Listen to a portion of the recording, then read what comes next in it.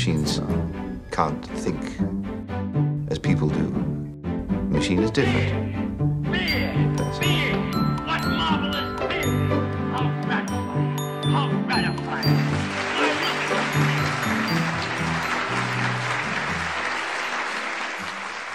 Anybody ever been in the room and heard somebody, or been in any environment and had somebody say, you people?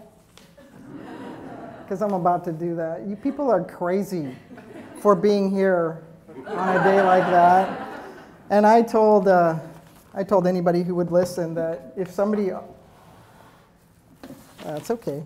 If somebody offers me a trip out on a boat to go fishing, that I was not going to show up. so I uh, unfortunately didn't get that. But fortunately, I get to be here with you, and I'm, I, I can't tell you what it means to be here to do this work and have this conversation with you all in my hometown.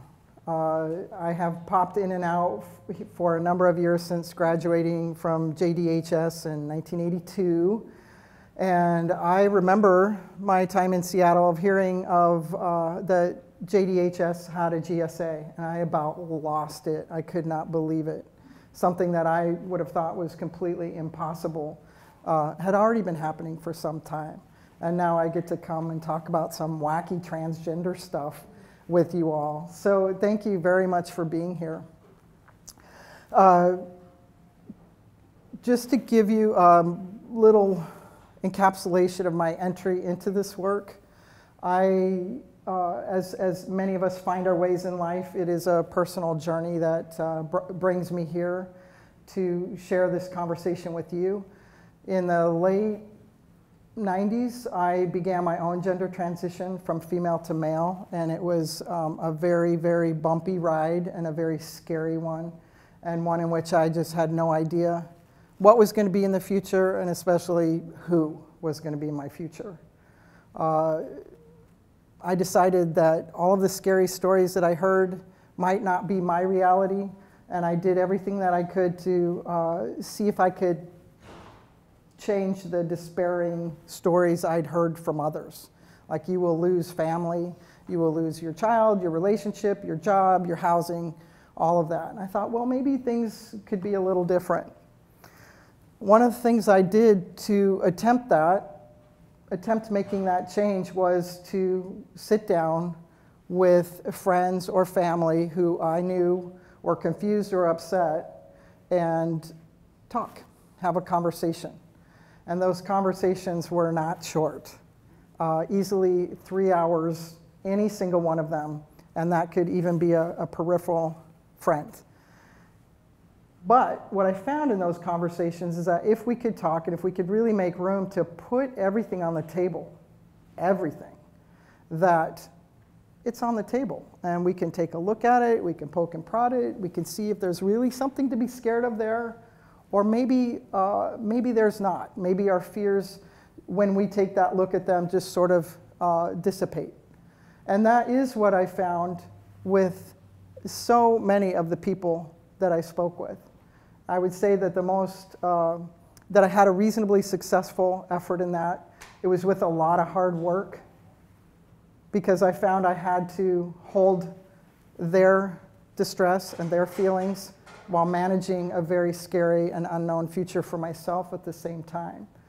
Uh, but because of those steps, I found that I had a really strong passion for doing that because of those successes. I organized a workshop. I live in the Seattle area. So my local community, I said, well, let's, let's have a community gathering. And I passed out flyers. And lo and behold, people showed up. Uh, I did a second one, and people showed up to that even more. There were so many different things that came up in those conversations. I thought we can't just we can't just say, hey, let's talk about what it means to be transgender. Uh, age was coming into the equation, sexual orientation was coming in, uh, racial identities, class, our class backgrounds. All of these things were coming into the conversation and influencing different things. Uh, so I put together a six part series to, to parse these different categories out. Uh, and ultimately put together a national conference in 2001 called A Gender Odyssey. Uh, it was 2001, So I had to call it something Odyssey uh, and really never expected the, the name to stick, but now it's um, uh, whatever the math is on that. What year is this? It's 2000 something or other. Anyway, um, as Andy mentioned, that conference has grown pretty significantly uh, in terms of, of who, not only who attends, but in, in numbers as well. So in, with that conference, uh, I wanted to find people who were having a similar path to me th- that, that I was having to help me. Like, how do we do this? How do we find our way? And I found that really a good majority of us were just feeling our way and not really knowing uh, what life was going to be like, what, how the world might receive us as we move through our gender journey. Uh, and also, in 2004, I had three different families show up that had teenagers. And I'll never forget one of them saying, Aidan, what do I do with my kid? And I really wanted to look at him and say, I have no idea. Good luck. I can't even manage my own. I don't even know what I'm doing, much less how to advise someone with his child. Uh, but I thought, well, this, this man has taken his whole family and come across two state lines to attend our conference, which was actually pretty small at that time. He must be really desperate to come and ask some complete stranger what he should do with the most precious, one of the most precious things in his life. So I figured I better pull out something. And I thought, well, what would I want if I were a teenager and I was talking to my mom and saying, Mom, I hardly have language for this, but I feel different. I feel different. What would I have wanted? I would have wanted her to sit down and hear me and believe me, even if I wasn't perfect in my language. And I would also want her to help me find my way. Uh, so I, I was pretty easy to share with him. Do this. The other thing that I wanted him to know was based on my personal journey, and that was that no matter where you go looking for more information, you better know that some of it could be a load of crap. Uh, for example, the doctor that I went was going to at the time, I said, "Would you help me? I'm, I'm, I'm moving forward on a gender transition, and would you be willing to work with me?" And she says, "Well, I don't know. Let's let me talk about this with the expert at Group Health in Seattle, and I'll get back to you. So she went to talk to her expert. She comes back and she says, Yes, I can help you. Oh, and by the way, would you provide me with any type of materials that you have? And like, okay, uh, what do I have? Uh, I don't know, but I said, well, why don't you consult with the expert at Group Health who, who knows this field? And as I said that, I said, and how many people has this expert worked with in, in a gender transition? One. So, expert took on a whole different meaning for me. And I thought, well, I can be an expert. you just have to know a little something.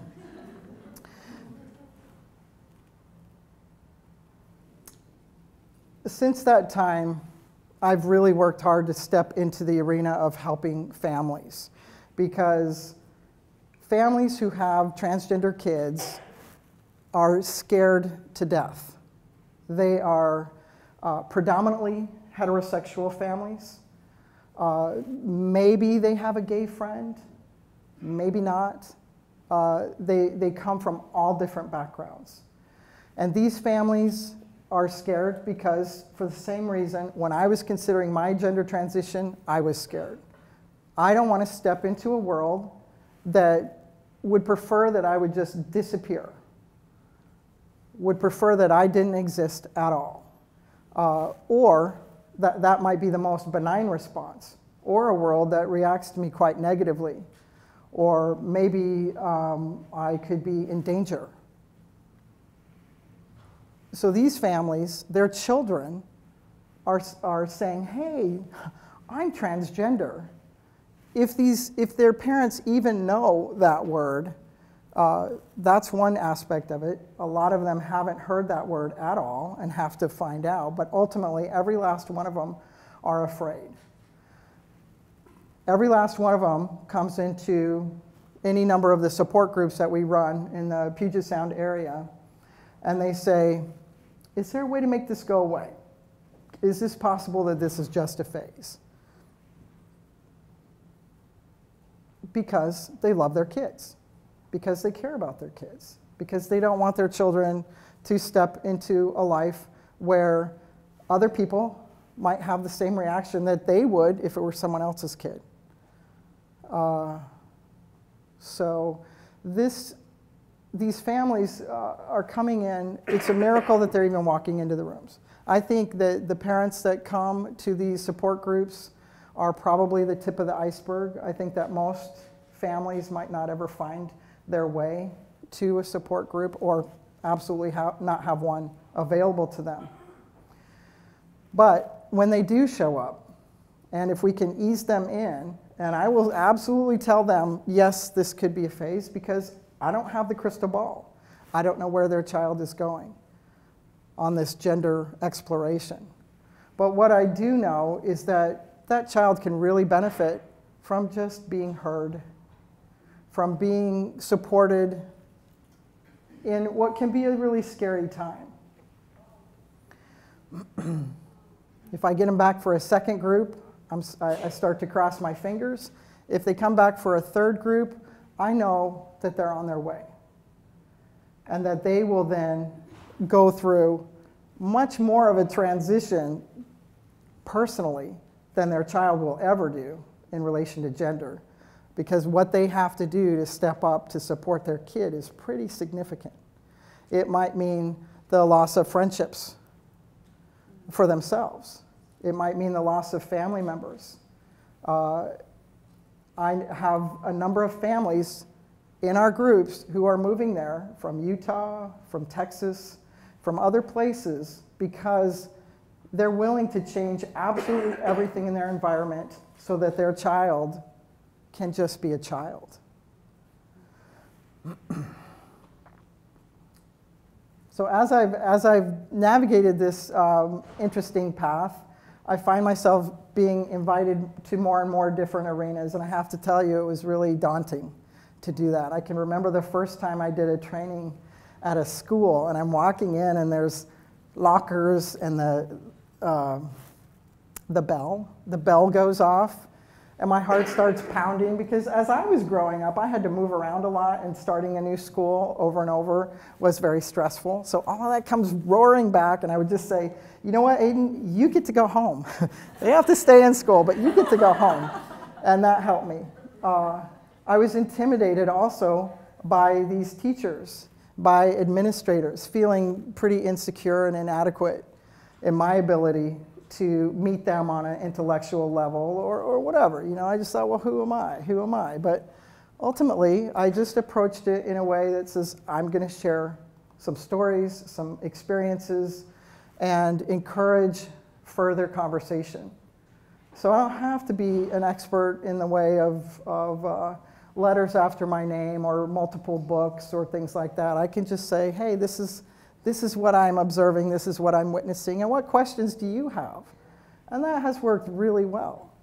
Uh, roughly, I don't even know how many schools, I know it's well over 100 schools now. I've stepped in to talk to staff or parents in that school community, uh, sometimes even conversations in classrooms. It's been in rural districts, urban districts, uh, communities of faith, uh, inner city, you name it. The questions are all the same and not only schools, other professions. So that might be medical doctors, psychiatrists, psychologists, social workers, uh, camp counselors, you name it. Anywhere a kid shows up, I feel like I've, I've been in that environment. What I have found is that there are some pretty consistent questions. The questions that come up are things like how can these kids know? They're so young. Aren't they really too young to make this kind of decision? Uh, what if they change their mind? what are some of the other ones? What if they change their mind? Is this just a phase? How is this different than being gay? And I can tell you, there have been many, many families that have popped into these rooms and said, I wish my kid were just gay. wow. Like, when, when, when did that show up? A just gay? Uh, and I, I sometimes, depending on the mood in the room, will say, well, don't, you know, be careful what you wish for. You can have a gay trans kid also.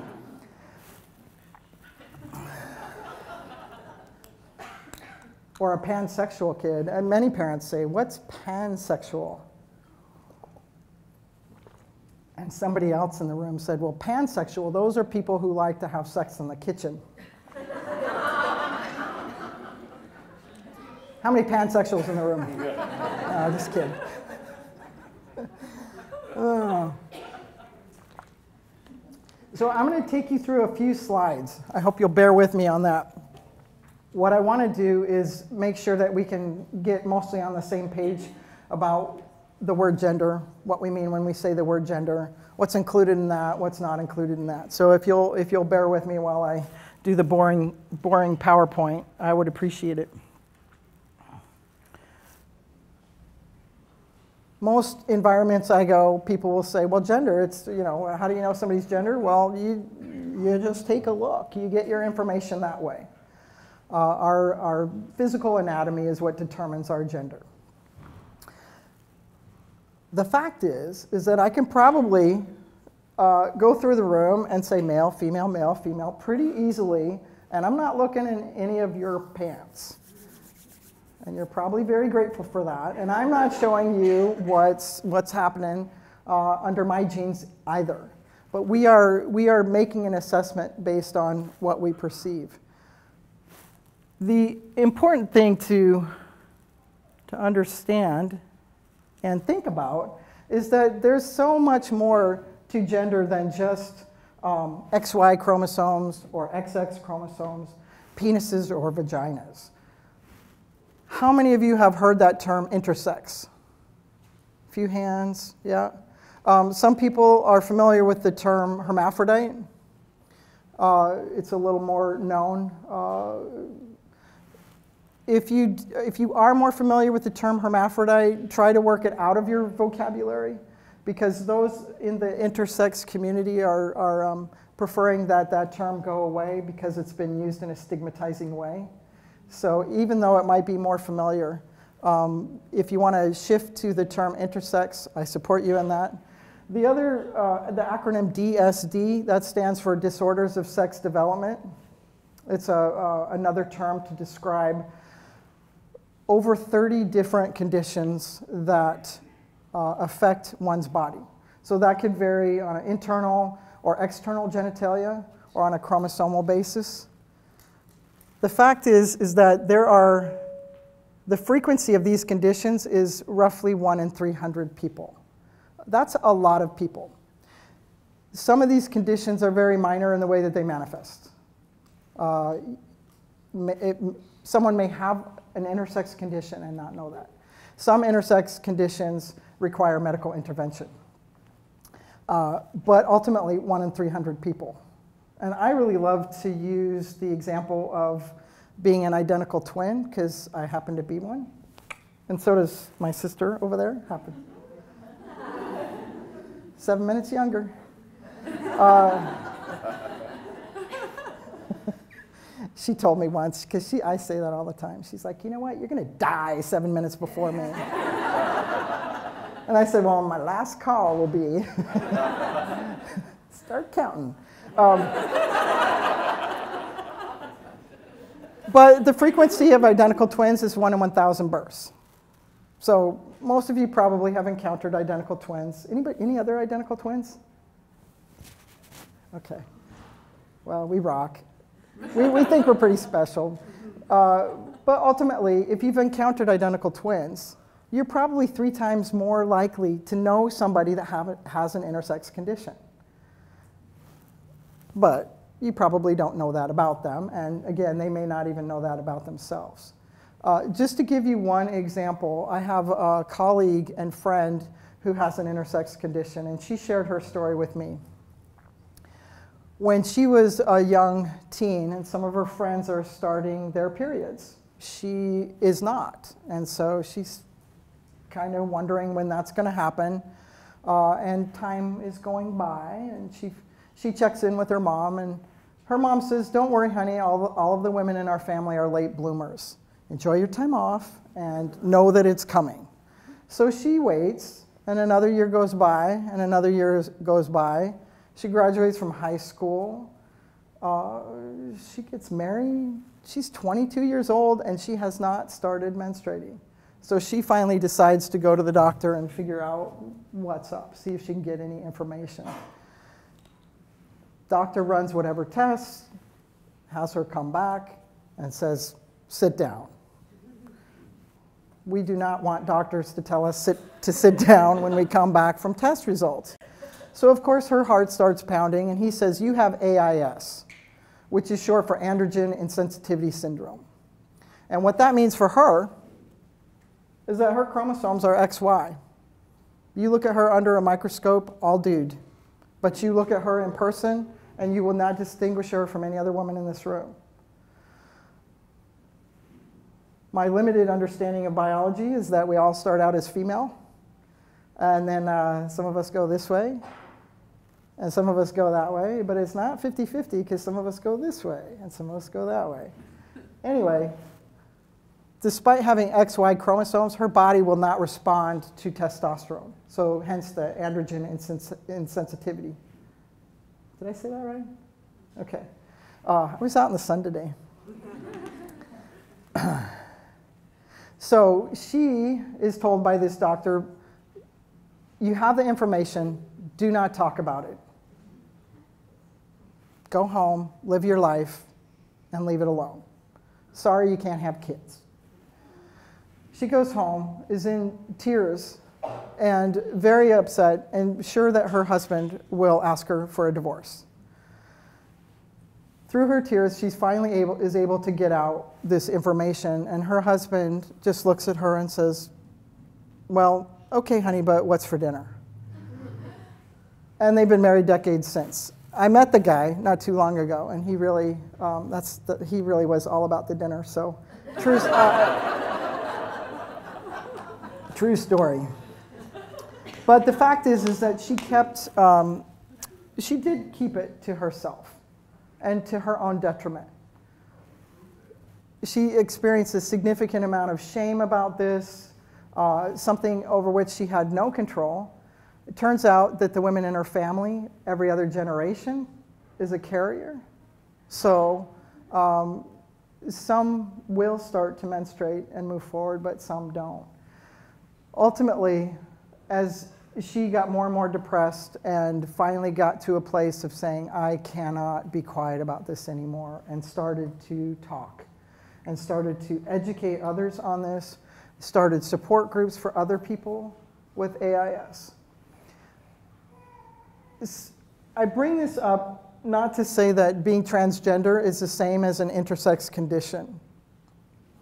Some people feel that it is. I don't know. We have, we have a number of studies that are coming out over the past decade or so that are showing biological uh, foundation for a transgender identity. Um, but I'm not going to weigh in one way or the other. Ultimately, you know, we're here, we're living our lives, and we're trying to make our way. So, where it comes from, yes, I'm curious. Why am I so uh, handsome and my sister isn't? I don't know. Um, it, it, begs the question of, of nature and nurture, right? We, we're identical twins. We have the same genetic makeup. We were raised in the same environment. So, you know, I want to understand just as much as the next person. But in the meantime, I've got a lot of life to live. And that's what I talk to these families about as well. That it doesn't matter where this comes from. And believe you me, they bring up a lot of things. I was I wonder, I was on a bus in Mexico for three hours, and the bus was riding behind a fertilizer truck, and I'm wondering if that's why I have a trans kid. Like, well, the rest of the people in the room weren't on that bus. Uh, and they're all, some will say, I wanted a boy so bad, or I wanted a girl so bad? Is that a way that, that my chi- child just decided to change their gender because of that? Well, if any of you are parents in the room, you know you are not that powerful in influencing your children. So ultimately, I bring it up just to say that our bodies are not that reliable to tell us somebody's gender. And if we want to know somebody's gender, we are taking a look at gender expression. So, gender expression includes the things listed here. How long is our hair? What clothing are we wearing? Um, how are we expressing ourselves? What is our, what is our physical presentation that we are projecting to others out there that make it easy for me to decide, at least I decide what I think your gender is? Uh, this is the area that uh, in relation to children, kids already have a very savvy sense about gender already because of all of these things. All of the things that are assigned a gender that don't really have a gender. Colors, for example. Pink is not a girl's color. As a matter of fact, my understanding is that prior to World War II, pink was a boy's color Anybody know that? Yeah. yeah. wow. Bold, strong, pink. And blue was softer and more feminine. So that flipped. Um, a cultural shift, a societal uh, shift in perception. I don't know why that did. Some reading that I've uh, done on that was that pink, Hitler put pink stars on the uh, homosexuals in the camps. So pink became associated with homosexuality, and then we just decided, well, I don't want anybody to think I'm gay, so I'm going to stay away from pink. I don't know if that's the reason, but there was a shift. My, the point is, is that it's very arbitrary. Emotions, for example, I've gone into many, many rooms and said, what is an acceptable emotion for men to express? And what do you think I hear? First and foremost, every time. Anger. Yeah, anger wow, could we live in a different world? Maybe a little more options for the emotional expression of boys and men. I'd love that world. Uh, but again, this area in relation to kids is where they can readily grasp this. This is the area that when I'm talking to school staff, I say, This is your friend. If you want to talk to kids about the experience of a transgender student, I've got ways for you to do it. And part of it is this transgender thing, a teeny part of it. And the bigger conversation falls here. I'll, I'll say more about that.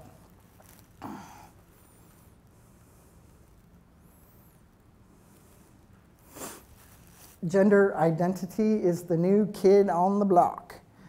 Gender identity is a term that, if I to simply define it, is your innate sense of your own gender when you're looking inside, who, what do you, who do you feel yourself to be?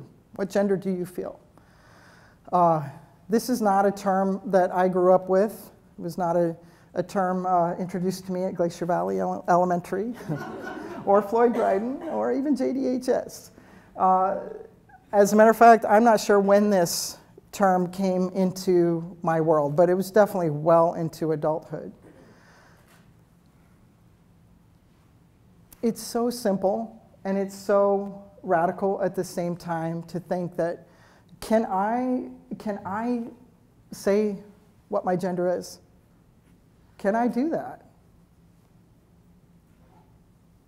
Can you all just say, okay, as I share that information? Uh, that's the world that we're in right now. That I can say my gender, and I, not only myself, but all of the transgender kids, all of the transgender people out there, all of the people doing the explorations are having that significant pushback. No, no, no, you don't get to say. And I want to say, well, what's the big deal? what's the harm in that? Um, there's a definite perceived harm, and we'll talk about that today also. But ultimately, I think if we can move this conversation and think about all of the ways in which any of us might have something else that's really important and crucial to who we are that people can't tell by looking at us. And that's something that as you get to know somebody, that unfolds. And hopefully, those people that you're meeting and engaging with in life will receive you for who you are. If you said, I'm an artist, and I said, Well, no, you're not. You sure don't look like an artist. Uh, you might get pissed at me eventually. Uh, there are a lot of things, right? I mean, who can't relate to that? And for me to say who you are and who you aren't is borders on the insensitive uh, part. In Washington state, gender identity and gender expression are listed in our state's anti discrimination language. Uh, that gives me a lot of uh, foundation to stand on. The lawmakers who I believe they very much understood the definition of those terms as they were voting that in. And I, I am fairly confident that they didn't know what it really meant to say we won't discriminate based on gender identity or gender expression. How, how, what does that mean? How does it play out? Because now all of a sudden we got, we've got kids who want to use the different bathroom. Well, I didn't bargain for that. Um, but if we're, if we're giving validity to this term, gender identity, that I get to say my gender, then that also means that I might use a certain bathroom.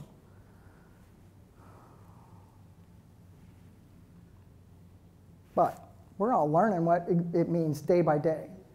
And we're walking through this very uh, exciting but also very volatile time of change.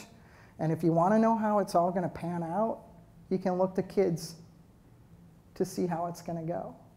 And when you look at this issue through the eyes of children, they are not panicked about it. They are not distressed about it. They're pretty matter of fact about it. Like, oh, okay. So let me give you an example. Kids, uh, let's see. One child who was probably, the, the parent related this story to me. When their child was about seven, he came up to his mom and he said, When are you going to get it? I may have the body of a girl, but I have the heart and mind of a boy. That language, I haven't found a better way to define gender identity ever since that time, because that is really, I mean, that just says it. I know you see this external package, but in my heart and my, and my mind, I am a boy. That's what this kid said. So if we're talking to other adults and talking about this, it falls into a completely different category. Aren't they too young to know? Well, what if your child changes their mind? They can't have surgery. They're seven. Wait, wait, wait. But if you talk to kids and say, well, your classmate, Joey, for example, who you all have known since kindergarten, is letting us know something about himself today. And that is that in Joey's heart and mind, she feels herself to be a girl. And she would like us to refer to her as Joanna. The kids are taking this in. And here's what I recommend to teachers as they move forward in this conversation. So you take that, introduce that, and say, you know what? She was really nervous about telling you about this today because she was concerned that you might tease her. But I know you kids, you're not going to tease her, right? Kids are like, no, no way, no way. As a matter of fact, how many of you have been teased about something? Raise your hand. And all the kids' hands will go up, right? Yeah, uh, as a matter of fact, who hasn't been teased about something? so their hands will go up, and you say, hey, take a look around the room. And they're looking at everybody with their hands up we might not be surprised that everyone has been teased, but if they're in the second grade, they're pretty shocked. Whoa, wow, oh, that's the kid that teased me. oh, that's the kid I teased. So it immediately inspires some empathy right there.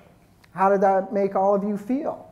They say sad, mad, sad, mad, sad, mad. Vocabulary is pretty tight in second grade. And except for the one kid, I love this kid, he says, quite frustrated. but ultimately, immediately they're, they, can, they can empathize. Immediately they can relate to Joanna's fear that she's going to get teased about who she is. Right there, you've introduced this concept of, of uh, gender identity, like who you are in your heart and mind, and also helped kids understand and relate to it in a way that doesn't, it doesn't have to be about gender. Can move into a broader conversation because these, these same kids who says, yeah, I've been teased, well, what have you been teased about? Oh, well, I've been teased because I'm the tallest kid in the class and I'm a girl, so kids tease me about that. Uh, kids tease me because my family moved from Korea and I didn't know English last year. Kids tease me because I have two dads. Kids tease me because my dad is in prison. Kids tease me because I'm being raised by my grandparents.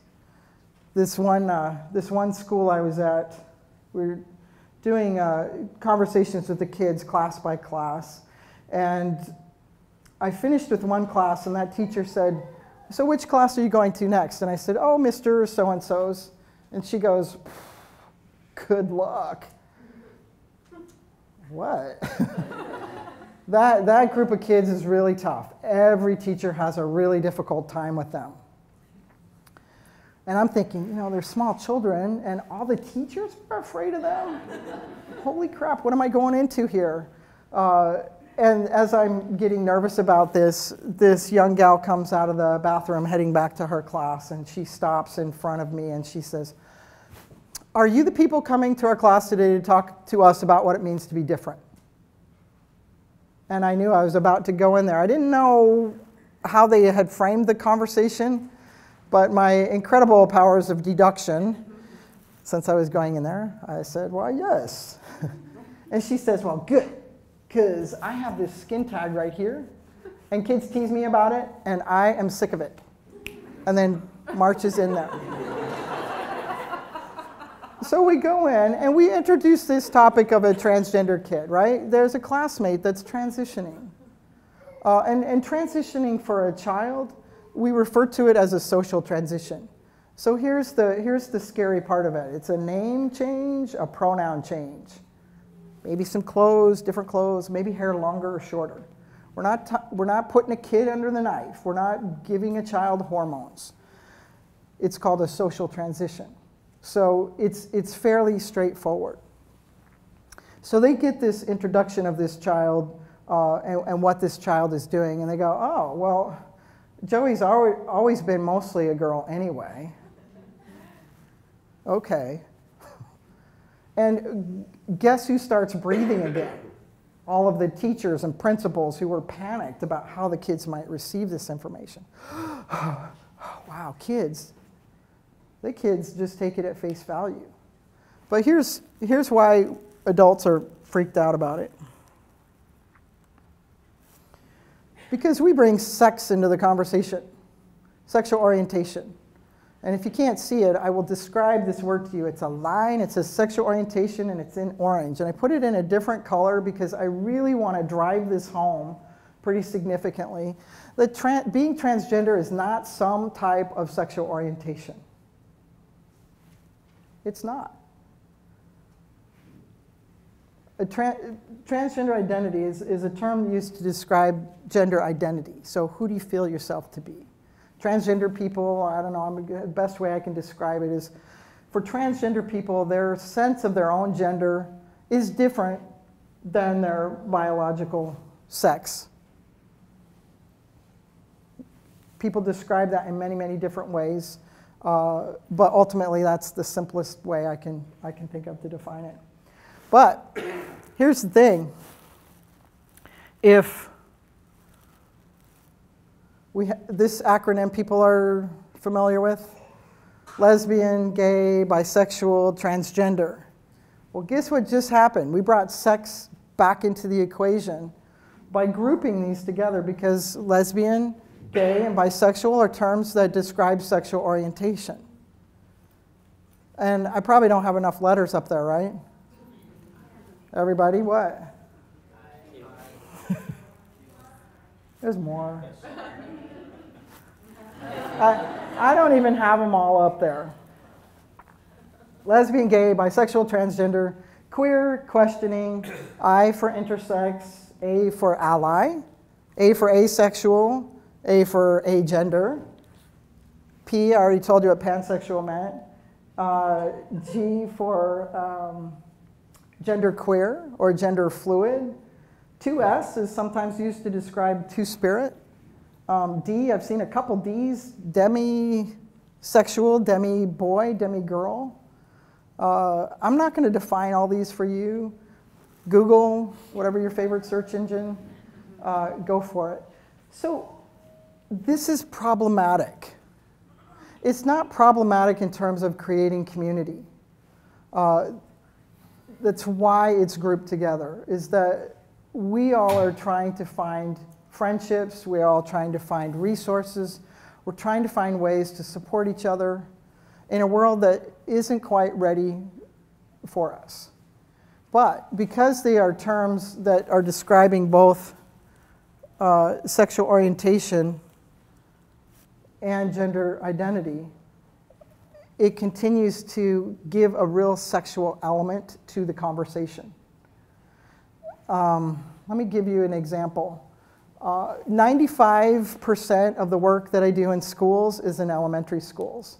So if I say I'm an LGBTQIA2SD educator, um, I'm probably not getting in the door. Uh, because they'll say, well, you know, that's great. but these are little kids. We're not ready for that conversation yet. We talk about that later. Um, so check in with the middle schools or go talk to the high schools. Me go back a page here.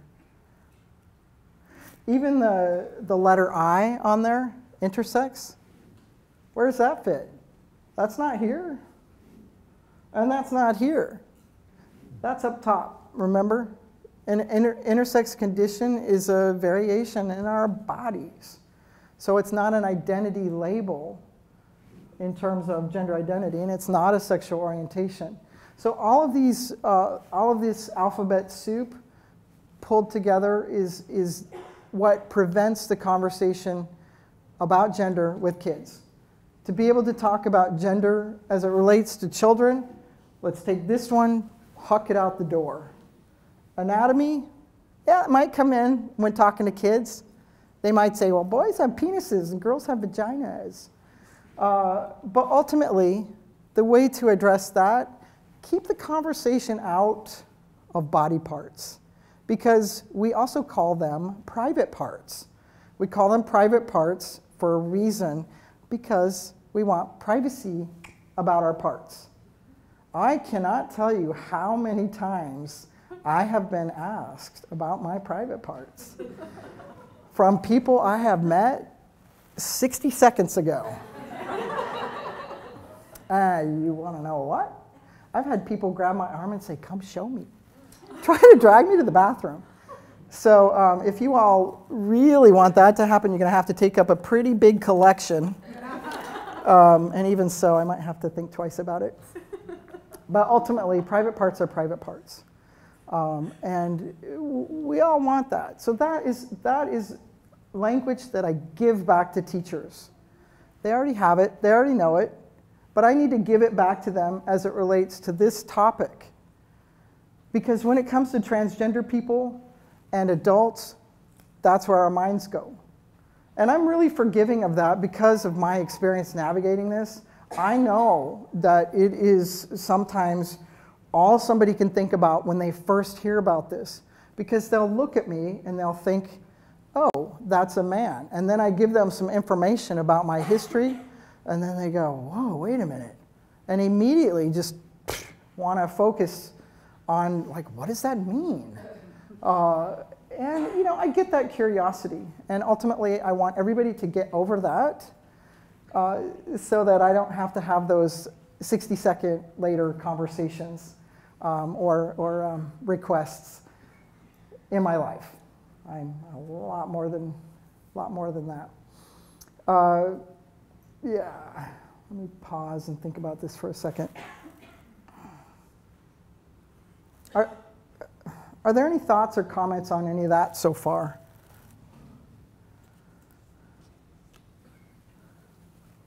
Mm-hmm. Do you observe a different response from kids in situations where you can tell that they have been indoctrinated in their own homes into a more typical American presentation of gender roles or even open anti-trans um, dogma? kids incorporate our society's gender messages from really, really young ages. What I have observed is that the families that call in for our groups, for example, a lot of them are saying, Hey, I have this kid and I don't know exactly what's going on. My kid is six, my kid is seven. It's like this age six, seven, six, seven. I hear it a lot. I don't believe that at that age that this is when some manifestation of some transgender identity occurs. What I think and what I've witnessed is that, hey, it's really okay to have a, a more expansive way of expressing our gender when we're little, when we're in kindergarten, and then it starts to change. And by first grade, definitely by second grade, boy things, girl things. So um, let's see, I got to have a couple examples here. Uh, if I ask a classroom of children, how many of you like dolls? If you all were kindergartners. Sorry about that. Got to figure out the places to stand. Uh, how many of you like dolls? In kindergarten, people who like dolls will raise their hand. By the time you ask that same group of kids in second grade, here's what the boy who likes dolls does. He puts his hand up about this far. He looks right and left. None of the other boys have their hands up. He puts his hand back down. I see that. it's this motion. Um, but if I ask that same group of kids, how many of you, how many of you like action figures? Here's the confident boy hand. They're dolls. Action figures are dolls. Dolls are dolls. They're toys. So this, this expectation to conform, it comes from all over. So, um, you know, indoctrinate is an interesting word. It's probably one that I wouldn't use because I don't want somebody to stop listening to me because I use stronger language. I have watched uh, gay and lesbian couples who say, I'm going to raise my kid in a gender neutral environment. And then they have a boy child and they go, hey, little man, you know, buck up, you scraped your knee, you know, mm, it doesn't hurt. And the, and the little girl, oh, sweetheart, oh, poor thing. Um, it, we can't help it. We do this. We all do this. I want to get to a place where we actually start to think about that and say, why are we doing that? Uh, some research has been done that shows that brand new infants, we will uh, hold a girl closer and longer than we will a boy. A little baby, you know. Uh, I tell you what, I think any infant needs to be held long and hard and close for as long as until they get too big to pick up, like my nephew. Oh, I'm talking about you. That's right. Um, so we do. It, it's pervasive, and kids see that um, early, right away. And, and of course, there are messages. Uh, don't pick that up. That's, for, that's not for you. Be more, be more masculine, be more feminine, whatever. I'm not sure if that's getting at what you were saying, but uh, it's hard to separate out what, what messages are being sent where.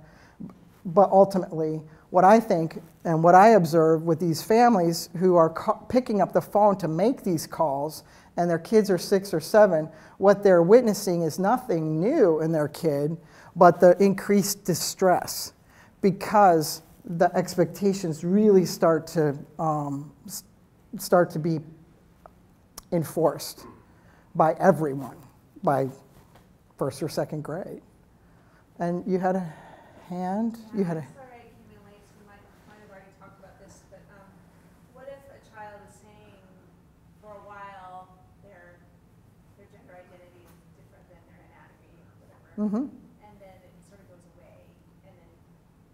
Well, then Celebrate. You know.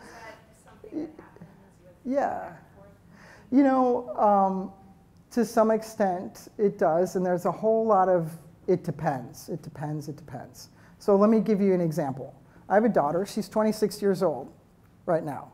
At three years old, she looked me in the eye and she says, I'm a boy. This was well before my transition, before I was digging into any of this personal journey and all of that. And I'm surprised and I'm listening to this child and, and, and I'm thinking, what was she just doing? That was there something that happened that made her say that? What, what could that be?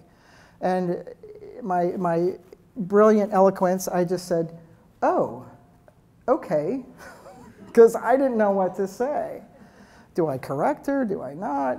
And I said, oh, okay. And she just trucked off and went and did whatever. Uh, so fast forward uh, a couple years, kindergarten, you could not get that kid in a dress. No way, no way, Jose. First grade, you couldn't get her out of a dress. By the time she's in eighth grade, she comes home from school and she goes, I don't get girls. They get upset about something. They can't tell you why they're upset, but they won't let it go. Guys are just laid back. I like hanging out with the guys. She's 26 now, heterosexual.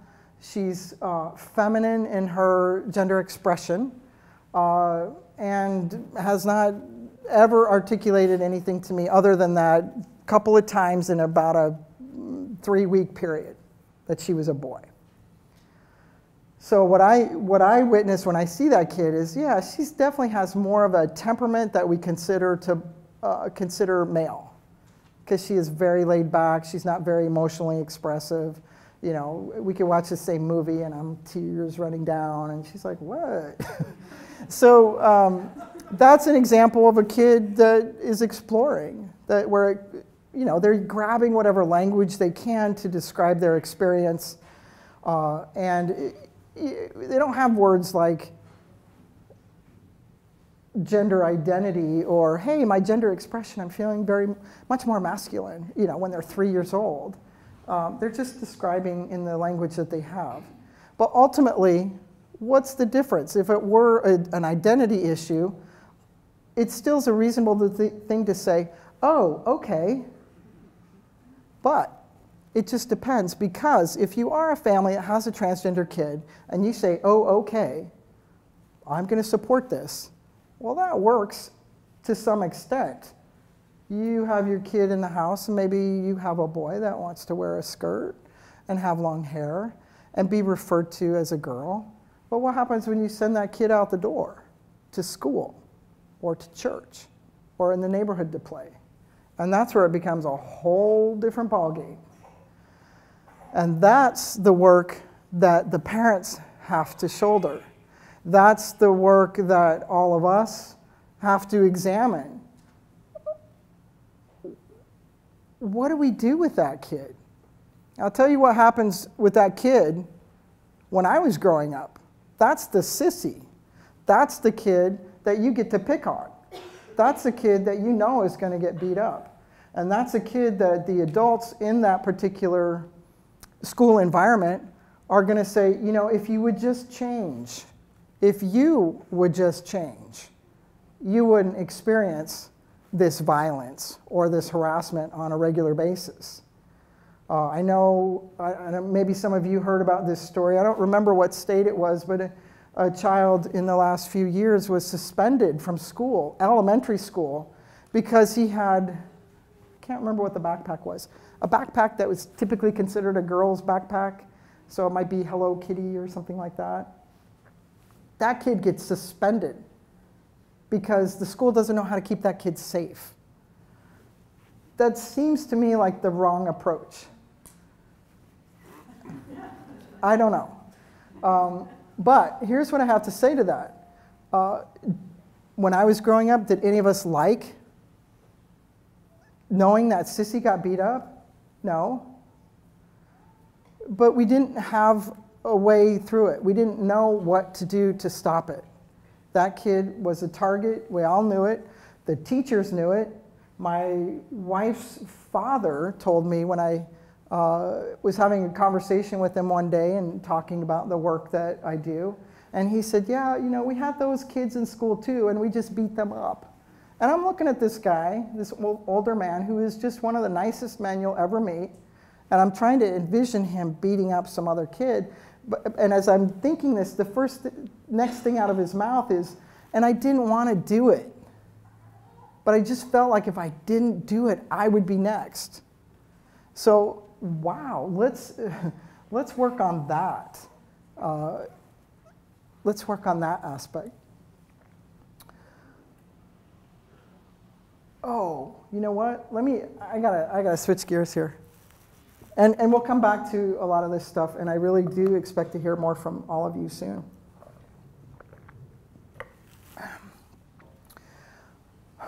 The reason we can't fix the world is because we don't know how to change it.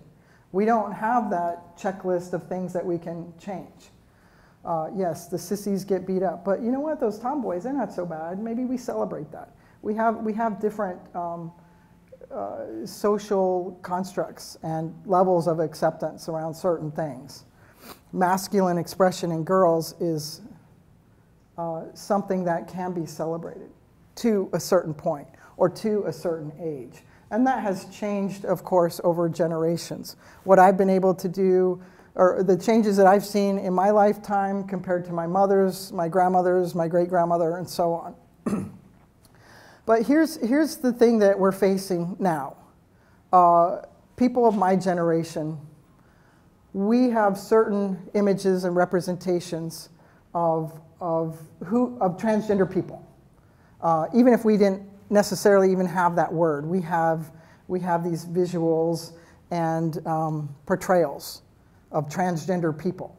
So what I got was uh, Rocky Horror Picture Show, right? Uh, some of the first time I heard certain language, and this is a very adult, campy movie that I wouldn't bring my daughter to, and I don't know too many people that would bring their children to to see. I'd bring her now, but she's 26. But um, most people would agree this isn't a kid's movie. I watched Silence of the Lambs, a pretty terrible, terrible movie about a serial killer uh, who's very disturbed and very violent.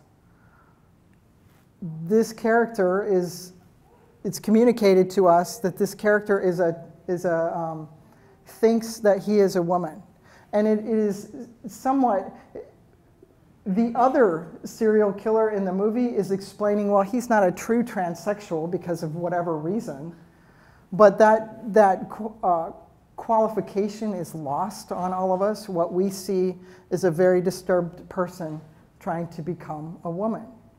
I also remember watching the movie The Crying Game, where this whole story unfolds and then towards the end, the transgender character that none of us know is a transgender person, that is somehow uh, revealed. I don't remember how. It's been a long time since I watched that.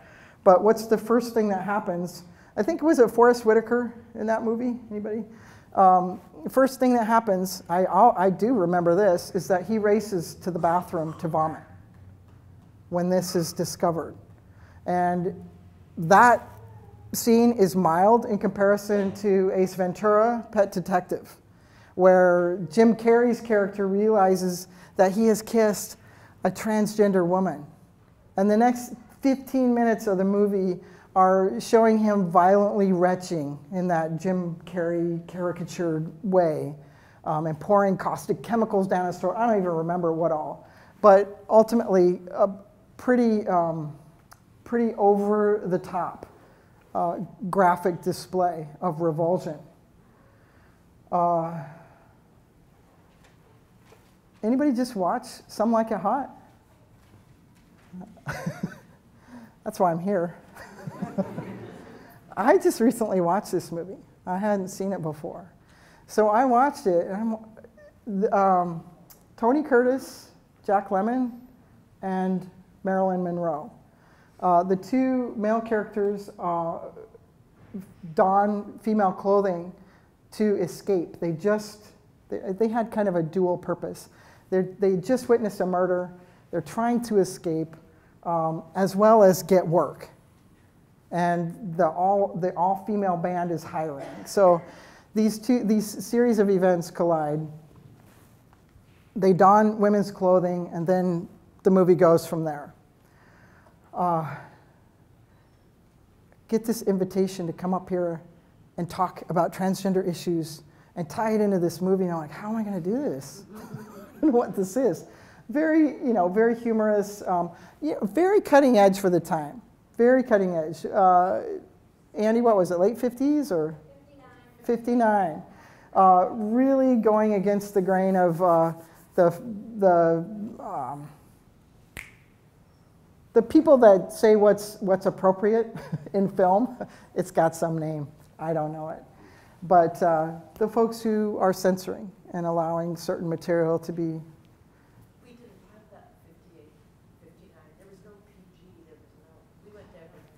Yeah. There was, there was, it just was unacceptable content. And my understanding is that this film really broke some boundaries there. So I'm trying to see, well, like, how is this, these aren't transgender characters. They're people donning women's clothing to, to make their way, and, and then joke after joke after joke after joke. Uh, but then there was this interesting thing that happened at the end, which was surprising to me because one of the characters ends up kind of falling in love, it appears, with this wealthy yacht owner uh, who has proposed and is seriously contemplating accepting this proposal. Uh, so there's this, this ending in this movie where one could ponder that maybe this person actually discovered a female identity in themselves um, by the end of it. So I don't know, but ultimately, the way transgender people are portrayed in films, uh, talk shows, well, certainly we can have a good laugh at their expense. That's the most benign. Um, they're terrible, criminally insane people, or worthy of revulsion, or they're being duplicitous in some way, trying to get away with something. Those are the messages that we've gotten unbeknownst really, we, we weren't really consciously thinking about this. I'll speak for myself at least. Um, but it absolutely shapes how we respond to transgender people today if we're of a certain generation. If we're younger, we have different representations. Those characters are characters in TV programs. They're just regular kids, but they also happen to be transgender.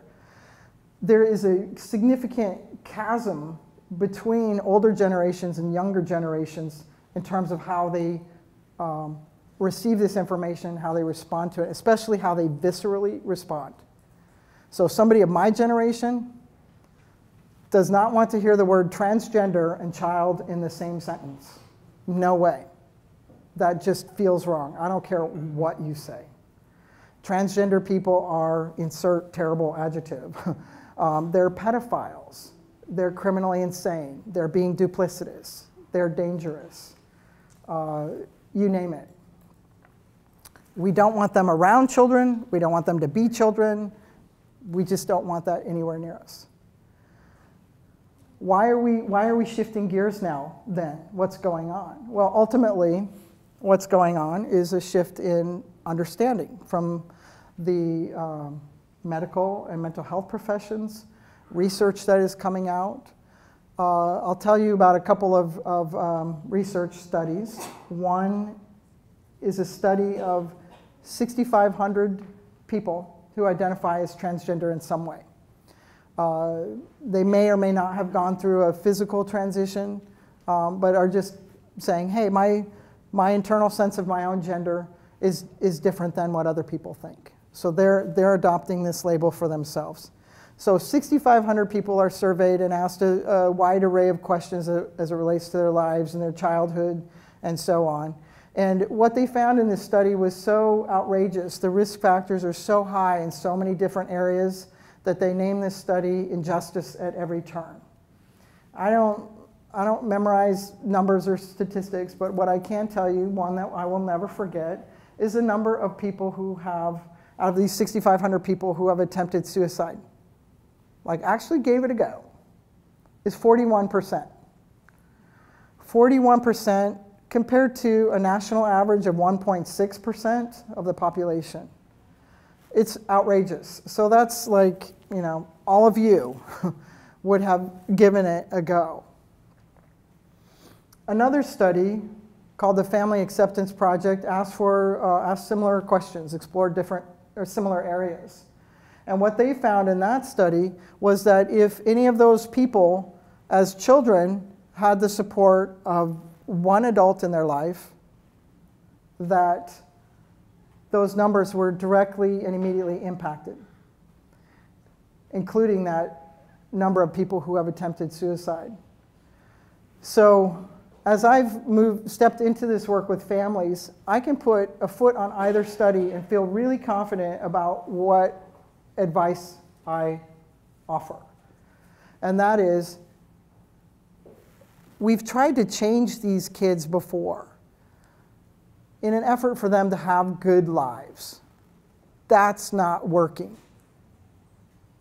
They're not, it's not going away even if a child modifies their behavior. Like my friend who, who was told to be silent about that intersex condition, these kids are just taking that, packaging that up, and tucking it away and not talking about that. I can absolutely relate to that. There was stuff that I needed and wanted to say, and I had no words for it, and I didn't feel confident to talk to anyone about it, including the people that were closest to me in my life. So instead, we say, let's support these kids. We're looking at that. Okay, well, so we tried to change them. That's not working very well. Let's support them. And we go, okay, well, what does that look like? What does that entail? How do we support these kids? And that's where we are today. We're, we're saying, let's support these kids. And I'll tell you what, eight years of hosting support groups for parents and watching them all step up to support their kids. I'm watching kids come to life. I hear over and over and over, it's so predictable now from parents who say, my child is coming back to life. I have that happy, vibrant child that I thought I lost four years ago.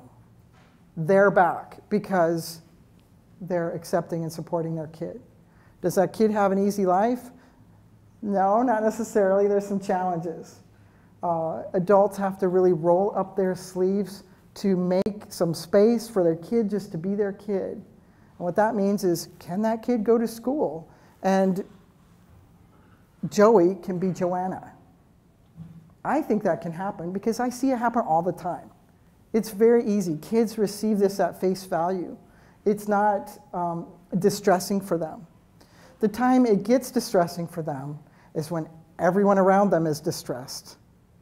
They respond in a way that emulates their parents or their teachers. They're scared. They don't know why they're scared, but they know it has something to do with that kid that's different. What that can do is continue to uh, create that climate where that kid gets that very negative attention of teasing and bullying. So this is not a conversation that I think can wait until middle or high school when we talk about sexual orientation. Uh, we need to start this conversation young. And we need to do it by talking about gender expression.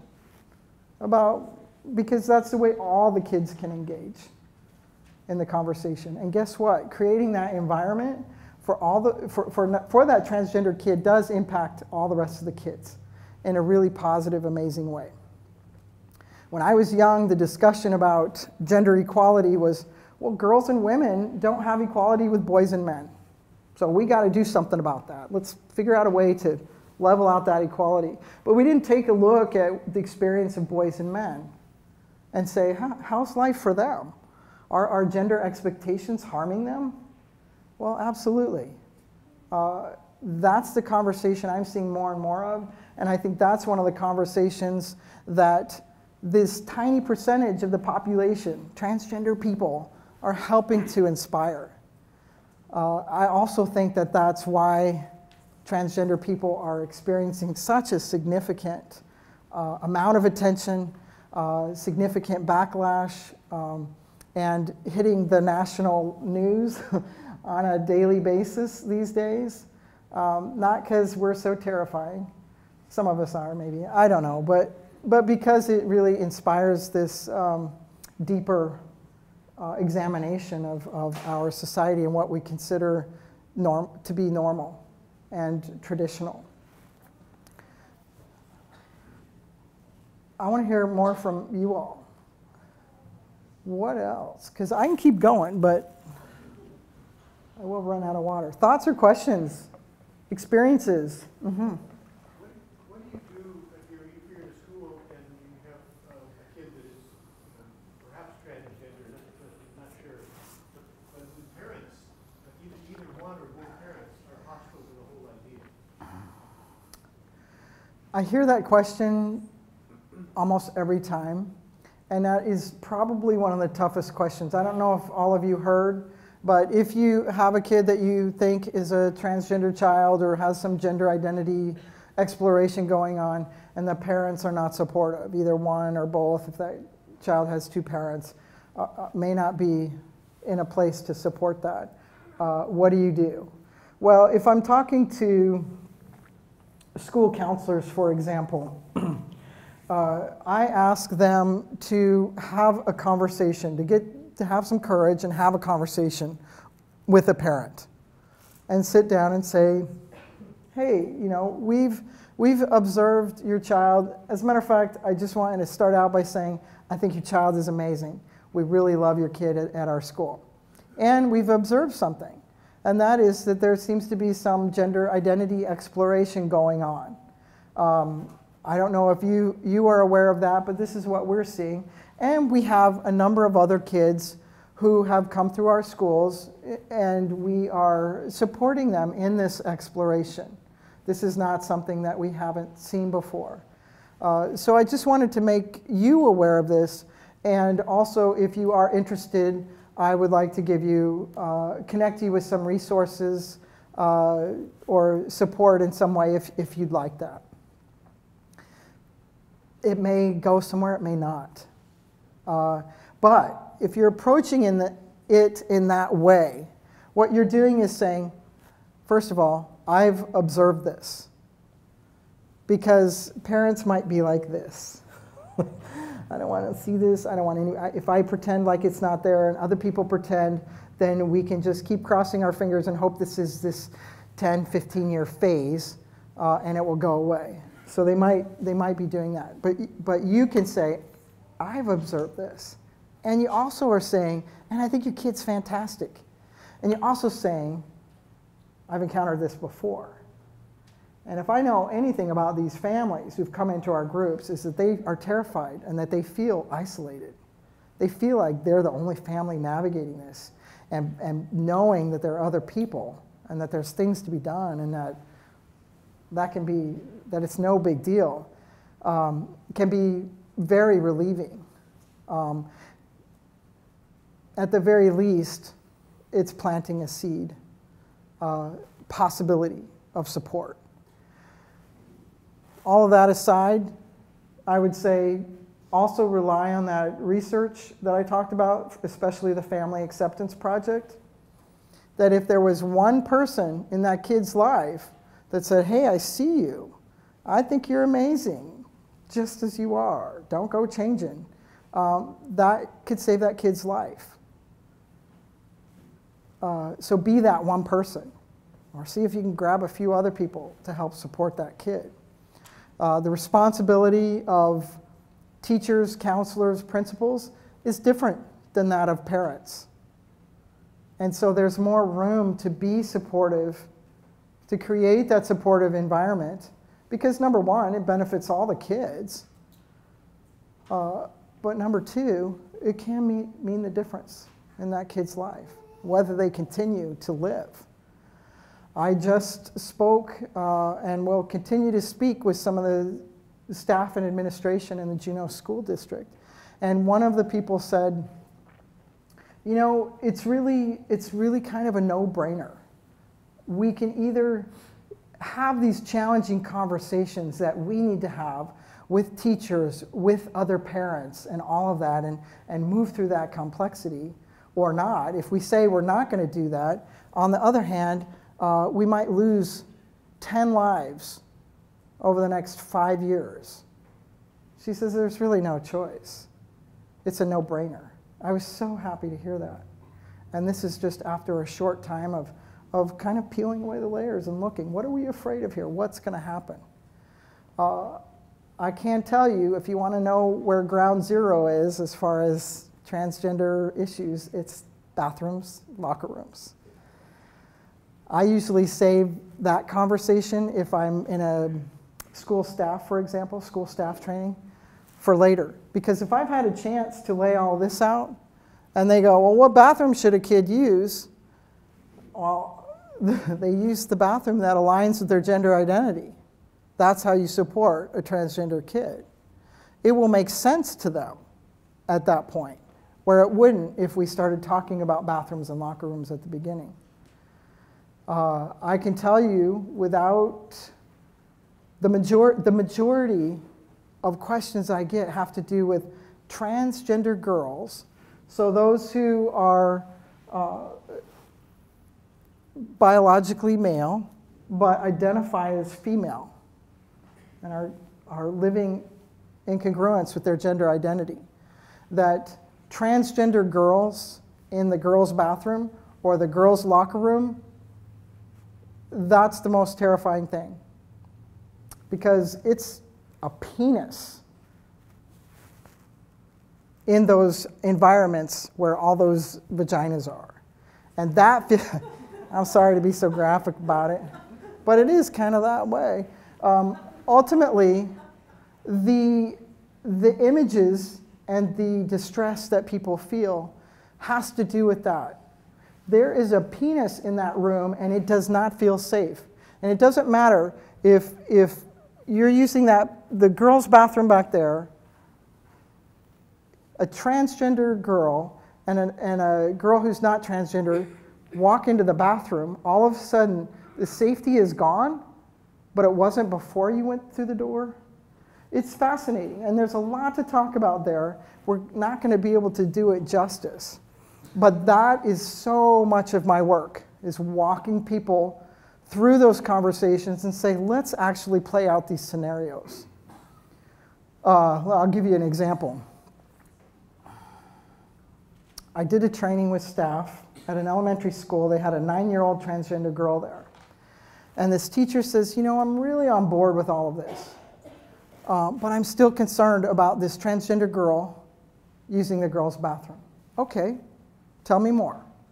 So she said, well, I, I just think that, okay, suppose this transgender girl, she's in the girls' bathroom, she goes into the stall, shuts the door to do her business, and then three or four other girls come in, and they look under or over the stall, and they see her penis and then are traumatized. and she's starting to kind of lose her steam by the end of this example. And I said, I wonder if the student who might be the most traumatized in that situation is the girl with her pants down trying to relieve herself in private. And her head is like, oh, yeah, yeah, yeah. What you have there is not an issue that's related to somebody being transgender. You have a little behavioral problem. Is there any time where it's appropriate for the kids to look under or over the stall? No. Okay. So talk to those kids. And it, it was just, it was a wall that she couldn't get through unless we actually played out that scenario. So I do this over and over. Well, what about there's a transgender girl. She's on the track team, and she's using the girls' locker room. And I'm thinking, oh, okay, there it is, the naked transgender girl dancing about, chasing people. Ah, so I say, so I say, so I'm thinking, okay, wh- where's this going it? But then they move past that and they say, no, this is. Um, suppose there's another person that comes into the locker room, and and they couldn't really quite finish this scenario. I said, are you concerned that maybe an adult transgender woman might come in to use the girls' locker room?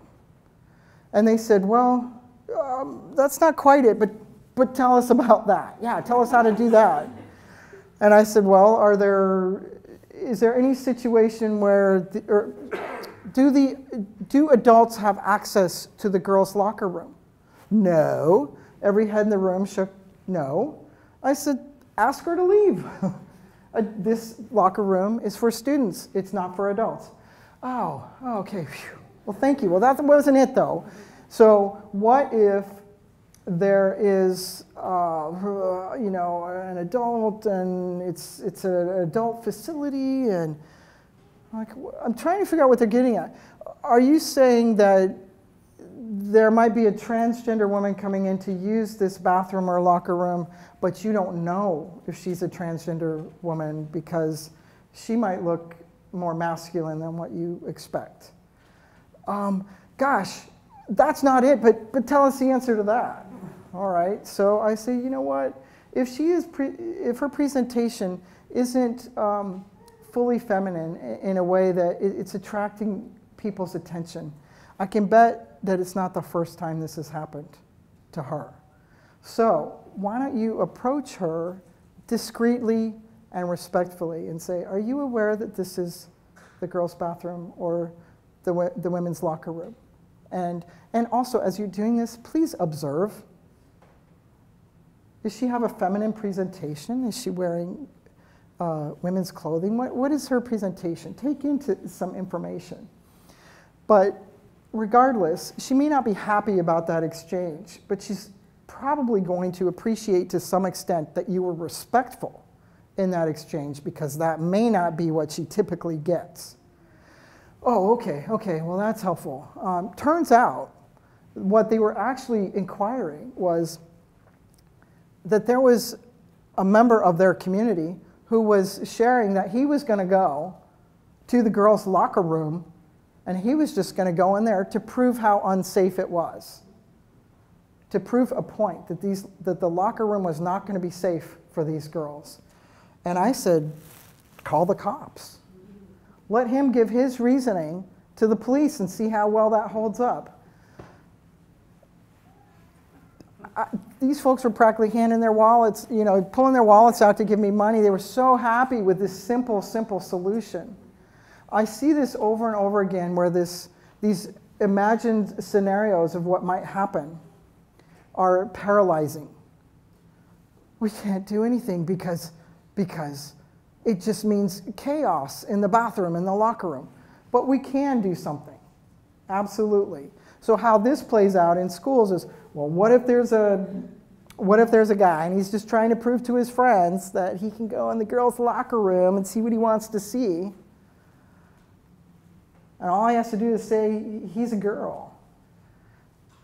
And so if he comes and says, hey, I, I'm a woman, so I'm going to go in and use the girls' locker room, you put your hand on his shoulder and say, no, you're not, today or tomorrow, or even the next day.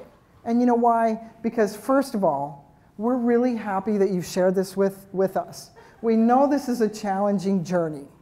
And we want to help you navigate this in the most successful way possible. So, first of all, you and I need to go sit down and we'll have a conversation. Let's map out a plan. It'll probably be a two or three week process. Uh, and actually, do your parents know about this? Because parental support is so important in this process. Oh, well. and actually, the principal, we need to talk to the principal because we as a staff need to make sure that we're doing what we need to do to support you in your gender journey. So if this kid can, can uh, play out this scenario for three weeks, well, it's just not going to happen. because the, the, the, um, the price tag got too high. That's a more instant gratification kind of um, action. And you had a hand up. I would just like to insert a word. I'm a licensed marriage and family therapist and one of the founding members of Peace Life in Juneau. And I've had transgender clients.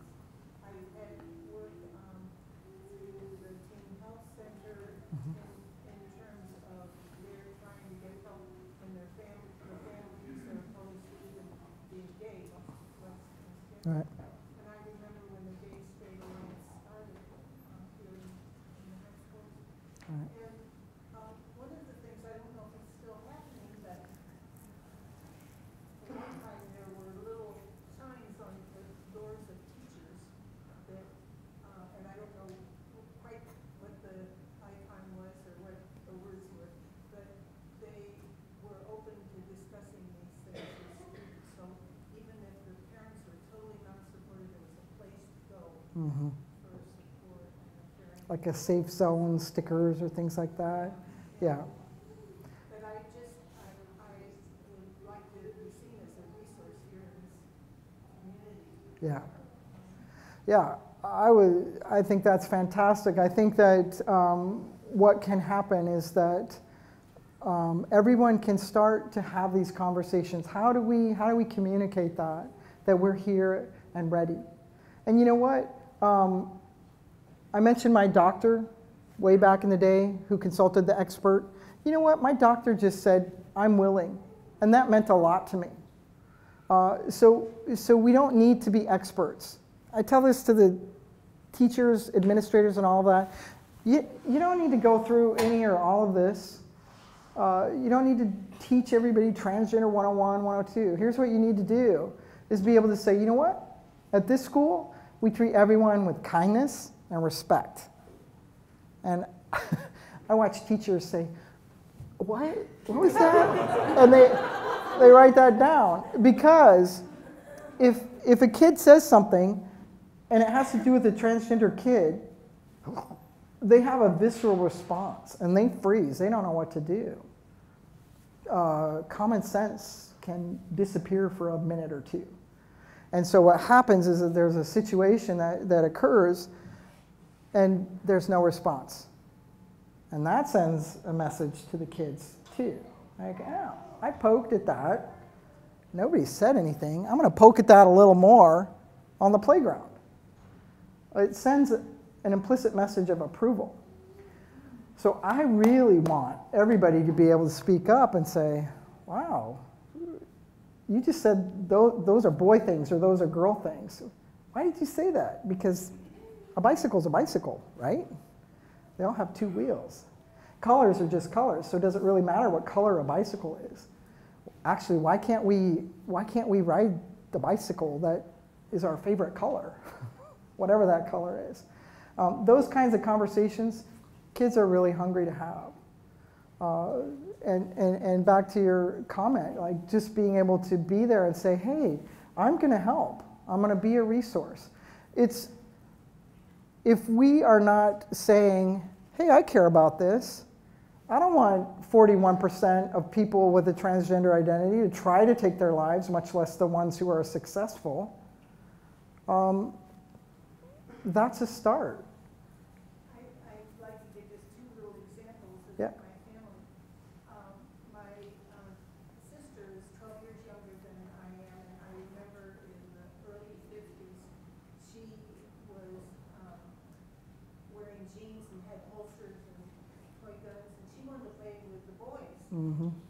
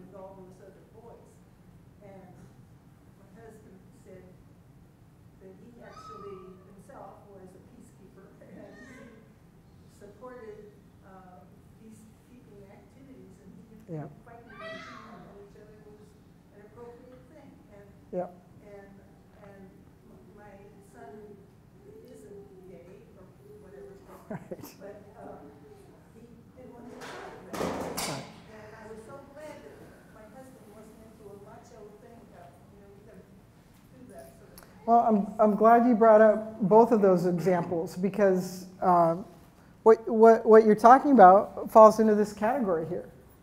Because we're not talking about that yet, they're, they're little kids. I listen to uh, so many kindergarten teachers, and they say, Oh, yeah, I have a kid like that just about every year in my class. And uh, I just assumed that they were gay, so I didn't say anything or do anything, depending on what the situation was. Because they're viewing gender expression as an indicator of some future sexual orientation, it's preventing them from acting in ways that they should be acting to intervene and say, look, he doesn't want to wrestle, don't make him wrestle. Um, they're five years old, they're not gay. They're not even straight. They're not anything yet except for children. So let's let them be children. And you know how how many kids you know there's there's homosexual boys that love to wrestle. uh, there's straight boys who would like to wear a skirt.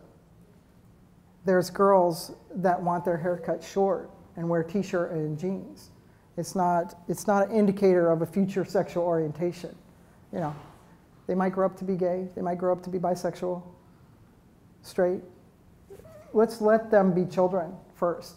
And if we can get this issue, not only being transgender, but also gender expression out of this category, we're going to do the world a big, big favor. Um, do you think that if kids from a young age were taught that taught not to have prejudice or um, make assumptions based on gender or discriminate based on gender, they were taught to recognize that and actively um, oppose that kind of thing from a young age. Kids can learn these things; it's possible. Uh, if there was an entire like s- school or whatever where where every kid was like, you know, it doesn't matter if you're a boy or a girl, I can play with you, we can do trucks or flowers or whatever. Right. You think there would be less uh, transgender kids? That's an interesting question. I don't know if all of you heard it, but, but basically, like, uh, if we didn't have these gender expectations and stereotypes and norms, and we could, we could kind of eliminate that, and kids could just be kids and engage in life in the way that they want, would um, there perhaps be less kids that would identify as transgender? Some, is that a decent encapsulation? Okay. Um, I don't know. it's hard to imagine that world. Uh, it's hard to imagine that world. I think that there would be um, people who would celebrate all of their, all of their, their full self. And, and that means that we incorporate the masculine, the feminine, Um, I, I've gotten to a point of going, what do those words mean? Masculine and feminine. And people give out examples all the time. Oh, well, it's when a woman changes a tire, that's masculine. No, it's not. It's changing a tire is not rocket science. Uh, skirts are skirts. It's clothing. Clothing is clothing. Uh, and it's arbitrary. Like I talked about the color pink. You know, I meant this one time, and then it means this the next day. So it's very arbitrary. I actually listened to a really incredible speaker who was from where? Ecuador, who who spoke about a community, a coastal community, where about one third of the people identify in a way that we would consider transgender. One third. But they have societal roles uh, for more than two genders. They have a, a number of different identifying roles. And, and she said that one of, the, one of the words that they use, if you were to translate it literally, means men with breasts. So ultimately, they acknowledge these people as men first and foremost. They happen to have a certain body type, but they receive them and engage with them as men. So, whoa, I don't know. I don't know. So, but but your, your question makes me think of uh, things that I hear pretty often, which, you know, why are you trying to get rid of gender? I'm not trying to get rid of gender. I think gender is an amazing, complex thing. It's really hard to pin down. If it's not about our body parts, what is it about? Is it this? Is it that? You know, what is it? And I think that's a fantastic question that doesn't particularly need any concrete answers. It just needs exploration. Other thoughts? Was his question about if uh, persons were raised with respect for, I, I didn't, If, I think if we could, we could um, lessen or eliminate gender stereotypes and expectations. What was going through my mind is, and again, this is my experience here in Juneau, where there's been over the years prejudice um, against Alaska Natives and against blacks, and that respect for all of us at all ages, whatever respect is bottom line. And I- I- Shocking. yeah. Well, and so of course you make me think of something else I'd love to share. Is that so many schools that I go to, when I'm speaking with a principal uh, or the counseling staff or uh, whoever, um, they say, well, what about our families who are from different cultural backgrounds? What about our families who come from different faith backgrounds, um, who really feel this is wrong? Uh, what about them? How do we manage these conversations when a parent picks up the phone and says, What are you teaching my kid? And my first response is to encourage them to say, I hear you. You have concerns. We had concerns. My, myself as an administrator, myself as a school counselor or a teacher, I had concerns about this. And I wondered a lot of the same things that you are wondering. Is this appropriate for kids of such a young age? It seems like it's too mature of a conversation. But what I have learned is that number one, we're not talking about some mature content. So I was very relieved to discover this. Like, okay, we don't have to go there. Yay. Um, and what, what is important also is to validate a person's experience. I don't want to say that this is about insisting that somebody change their faith values or cultural norms. This is about saying, look, we as a school community have to create an environment that's inclusive of all the kids. And what that means is there's a lot of different experiences. And not everyone is going to um, ascribe or agree with, with all of what we're doing. So, what I want you to do as a parent is to sit down with your child and have a conversation with them about the values in your family, the norms within your culture, you know, whatever that is, have that conversation.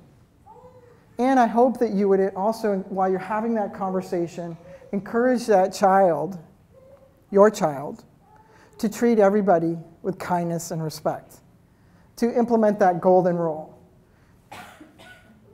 I don't want you to play with that kid, even if it's that, that um, extreme. Like, don't spend time with that transgender kid. That's okay. That is something that I would empower a parent to do if they needed to do that. But I don't want that kid to feel empowered to go be a jerk to another kid. I want those same faith values, for example, to apply universally. Uh, I grew up here. Auk Bay Bible Church, sometimes swapped over to Douglas Island Bible Church. People I love, people I grew up with, kids I played with, people who taught me how to be a person in the world, and things that I bring forward with me today, things I bring into my work. We don't always see eye to eye on some certain things. They might not agree with me, but I love them, I respect them. I want them to do the same for me. It's difficult to argue with that, and I don't know that anybody would want to, but being able to actually take a look at this conversation and play out different scenarios, look at our fears and concerns, and see if there's any merit to them. And if there is, what do we do about that? Then we can all move forward and back to school as usual. Uh, one I'm probably got to wrap up here soon, but one place that this plays out, locker rooms come up over and over and over. And I have been in rooms with people who were very elevated in their feelings and responses about this. And the conversation can, can start to devolve into a conversation in which nobody's listening. Here's my opinion. Here's my opinion. I'm not listening to yours. You're, I'm not listening to yours. And, and, and we know where that goes. It just people get louder and attempt to be heard, but it doesn't quite work. But if we can find that way through, we can collectively move forward. And somebody might not be totally happy, and somebody might be a little bit grumpy, um, but we can move forward. So, one of the things people are concerned about in bathrooms is they want to know that their kids are safe. I don't know anybody that wants their kid to be unsafe. So, if we can pull that out and say, look, the family with a transgender kid, they want their child to be able to go in the locker room and be safe. And you want your child to go into the locker room and be safe. So, what do we need to feel safe? First, we need to recognize that discomfort doesn't mean, does not equal being unsafe. Discomfort can just be being uncomfortable. We get uncomfortable with things we're unfamiliar with. So, recognize that the presence of a transgender student might feel a little uncomfortable at first, but that, that can pass. And it doesn't pass, it, it passes fastest for kids. Absolutely. So uh, if, you, if you're worried, kind of hang in there and see how it goes with your kid. But even so, if you're uncomfortable, here's how it goes.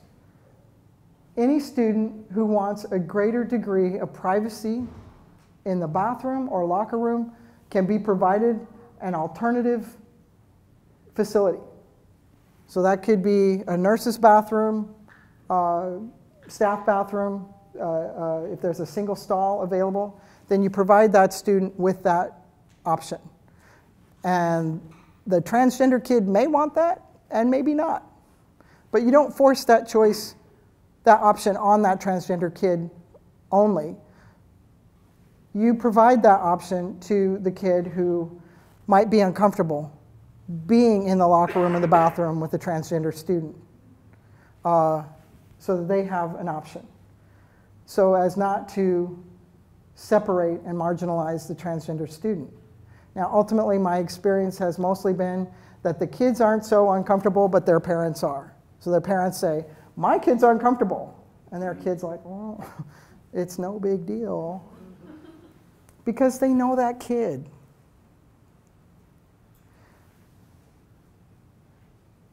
it's uncomfortable because it's new. It's uncomfortable because we haven't, we haven't looked at this issue in the light of day. Uh, I happen to like being out in the daylight. So I just have learned over time to talk a lot and move, if I can, move people forward in their, in their fears and concerns. And it works pretty well. We, we may be at polar opposites to start, but by the time we're done, we're a whole lot closer because they recognize that, well, it might not be the choice I would make, but I can respect you living your life. That's not so bad. Is that a good place to end? Not so bad.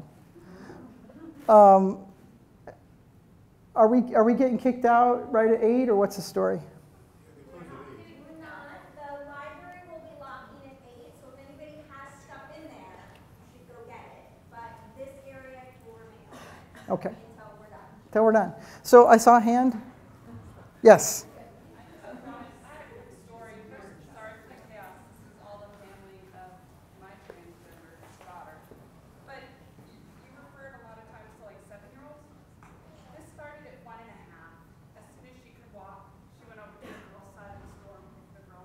story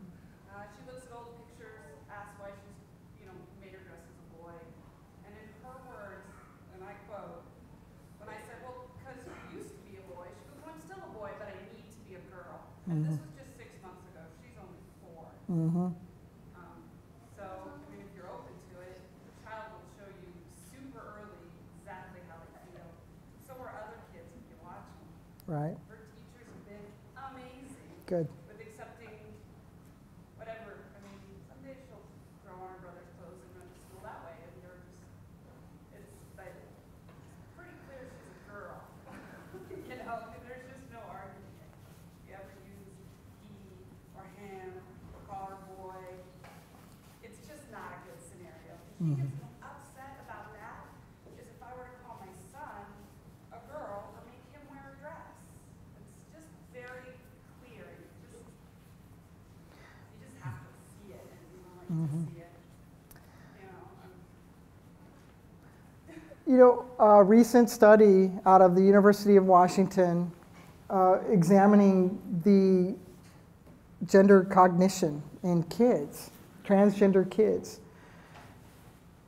That these, they, it shows that their sense of themselves or their gender identity, uh, as say in the case of your child's example, as a girl, matches those of the other girls who are born biologically female. It matches. It, this study is very recent in the last, I don't know, roughly year, year and a half. And it's kind of rocking the world. The collective experts out there who say, well, gender identity isn't uh, fully concrete until age, I've heard three, I've heard five, I've heard six, whatever. If I were to ask most of you, when did you know your gender? You would look at me like I was nuts. Like, what are you talking about? I've always known. But do we afford the same courtesy to kids who are trying to articulate that their, their gender? No, no. Um, and my experience is there is no set age.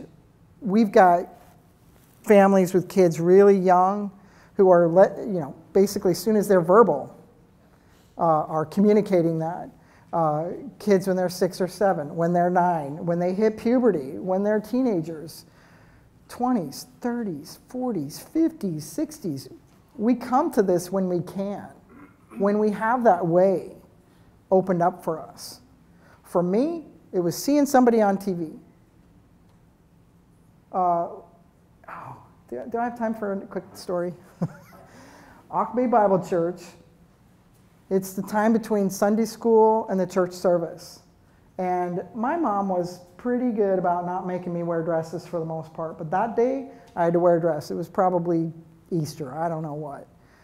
But she did it on occasion because she knew the repercussions for me, as well as her, would be significant if I didn't toe the line.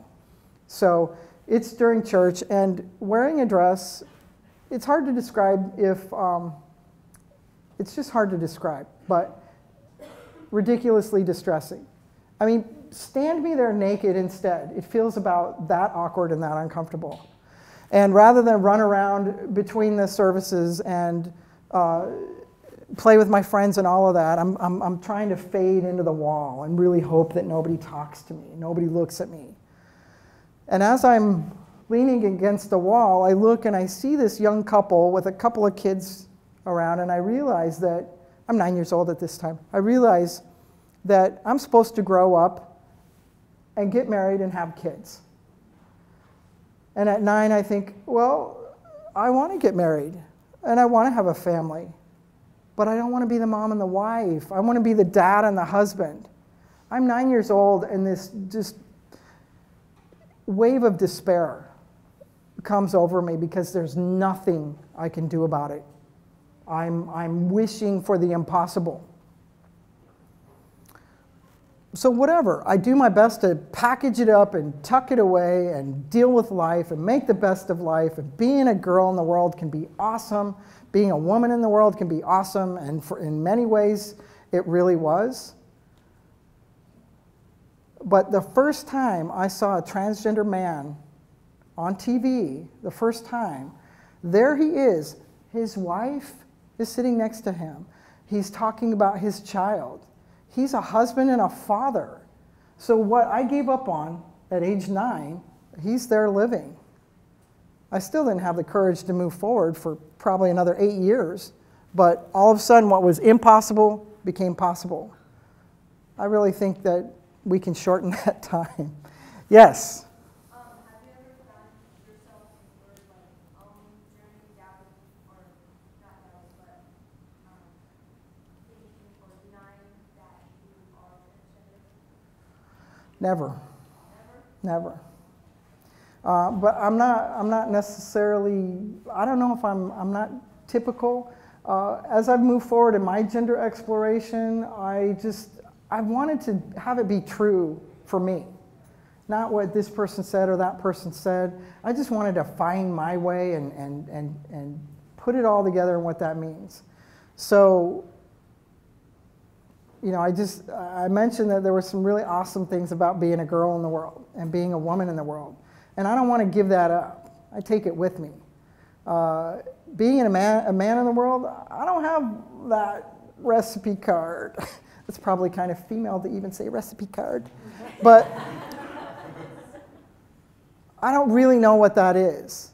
I'm uncomfortable in both locker rooms, um, but I am so happy in my gender. I feel like yeah, what's my gender? Well, I got a lot. I got a lot of it, and it's a lot of fun. And what I will say is that by just, not everybody has the ability to be as um, open about it as I do. Um, but what I found is that as I do that, people really open up to me. And over and over, I've got amazing people coming into my life.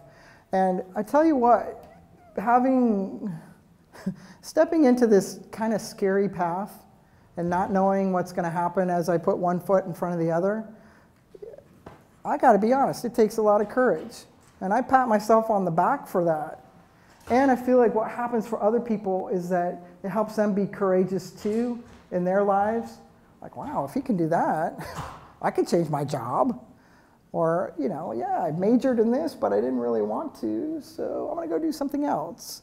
Or um, there's a parent of a transgender kid who, um, she's like, you know, my kid is, is my biggest hero. He's so brave and courageous. And you know what? If he can do this, you know, I've never liked my name, my first name. And I had this nickname as a kid, and I'm gonna, I'm gonna change my name to Stormy. This mom changed her name to Stormy. I'm like, yes. So, um, yeah, that's, uh, I mean, did that answer your question? Yes. Right on. What else? Are you guys ready to call it? Yes. This is in relation to what you just asked. Um, you know, I don't think you brought up the word gender fluid, but Right. um, I- I, I like that term. Just like in sexuality, um, the other topic, sexuality, I think